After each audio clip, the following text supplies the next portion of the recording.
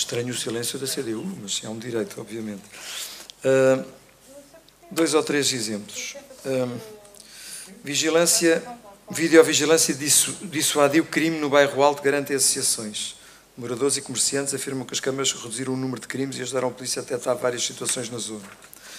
PJ detém três suspeitos de homicídio do jovem de 24 anos no Campo Grande. As câmaras de videovigilância ajudaram a Polícia Judiciária a identificar os assaltantes, que foram também sinalizados noutros roubos. PSP preserva imagens de videovigilância para identificar motociclistas que cercaram agentes, etc, etc, etc, de situações em que, em Portugal, já não trago situações do estrangeiro, situações em que em Portugal, em que a, a, as câmaras de videovigilância a, ajudaram fora a lógica de dissuasão, mas ajudaram efetivamente a, a, a pôr atrás de, de, das, das, grades, é? a deter, a identificar e a deter e a apresentar a um juiz uh, quem cometeu crimes. Crimes de homicídio, crimes de violação, crimes que, que, que, que fazem vítimas. Uh, é isto que nós podemos fazer a diferença.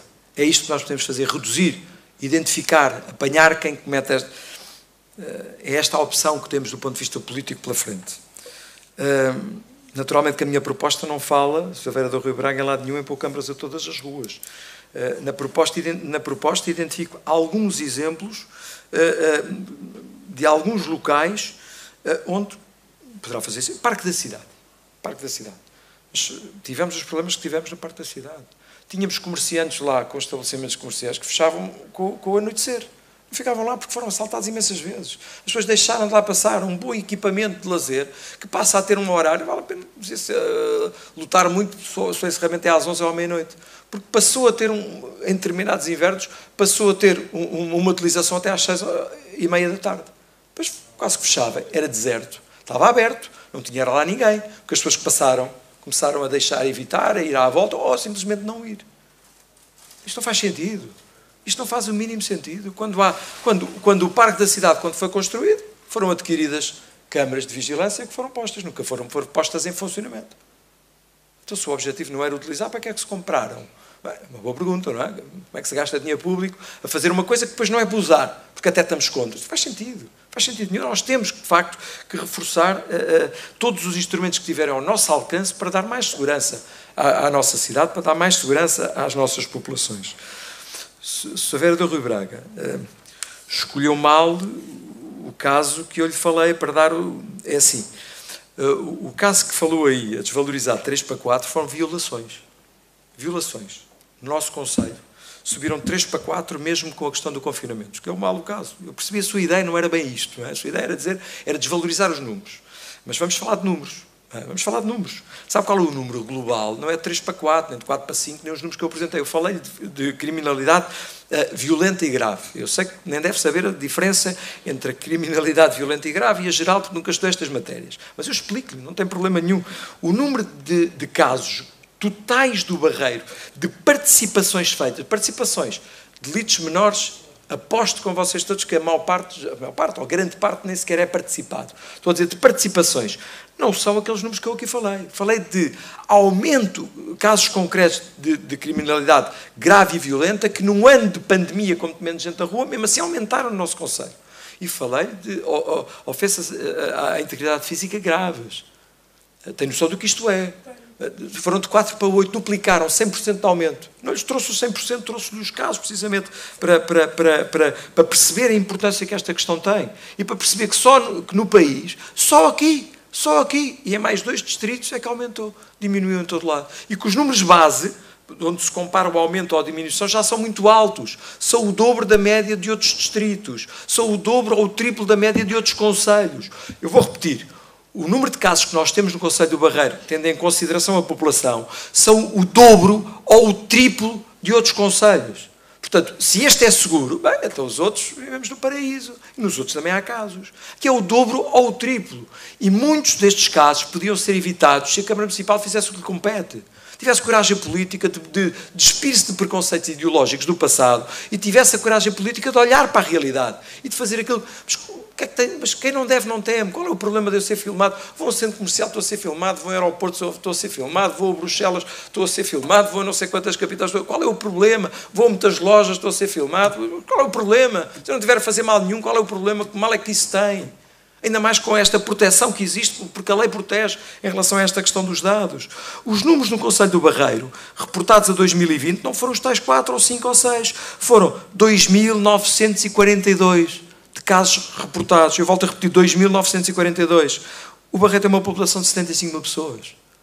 E depois, quando vamos a ver os dados em concreto, o que é que isto diz respeito, é preocupante os valores que aqui estão, face àquilo que é o aumento da criminalidade grave e violenta, que foi aquilo que eu aqui trouxe, porque é aquela que tem, naturalmente, mais impactos na vida, na, na vida das pessoas. E, portanto, é muito preocupante quando há aumentos de 4, de 4 para 8 casos de uma tipologia de crime de ofensas à integridade física grave, sim. Agora, uh, uh, se houver a do Rui Braga, uh, ou de violações de 3 para 4, é gravíssimo. Sabe porquê? Porque são vítimas, são vítimas. Eu recebi um contacto de uma mãe de uma miúda de 14 anos. Recebi o contacto, a, a pergunta era assim: sabe se há na, na, na, Câmara Municipal do Barreiro, se têm câmaras na Câmara Municipal no exterior?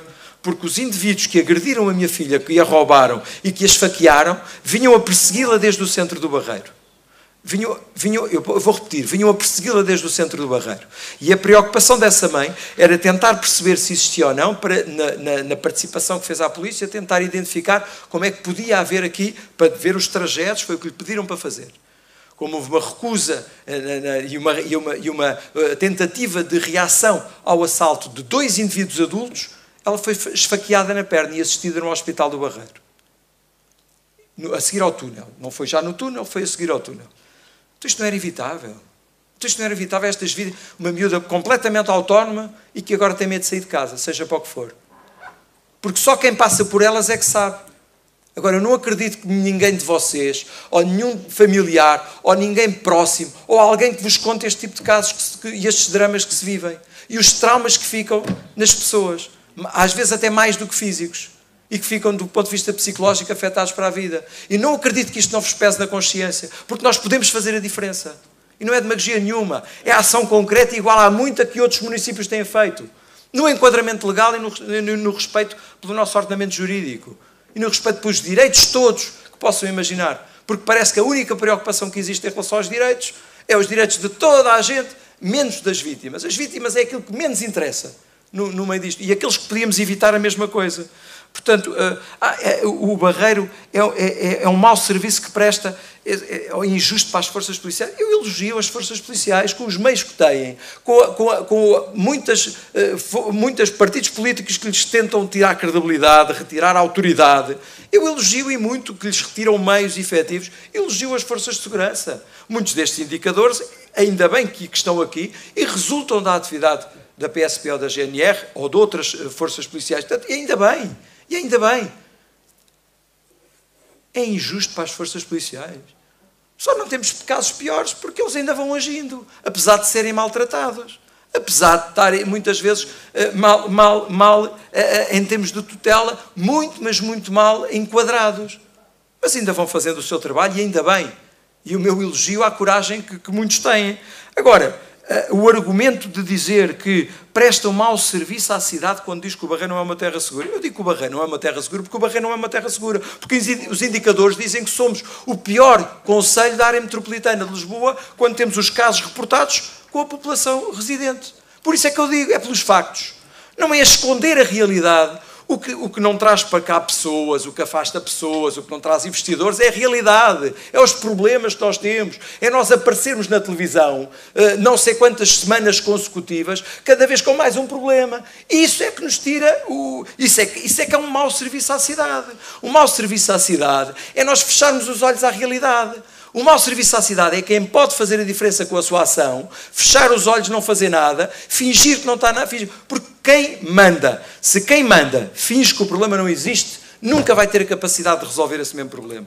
E esse é o problema que o Barreiro tem. E por isso é que muitos outros conselhos da área metropolitana de Lisboa que têm agido, têm vindo os seus indicadores de, de criminalidade a baixar e nós continuamos, infelizmente, a ver o número de crimes a aumentar. É precisamente por essa mentalidade. Não, não estou aqui para ajudar a esconder nada. Estou aqui para ajudar é termos medidas e ações concretas que visem efetivamente tornar o Barreiro uma terra mais segura. Temos, temos direito à segurança como barreirenses, como têm, felizmente, muitos outros habitantes de muitas outras terras nesse nosso país. Muito obrigado.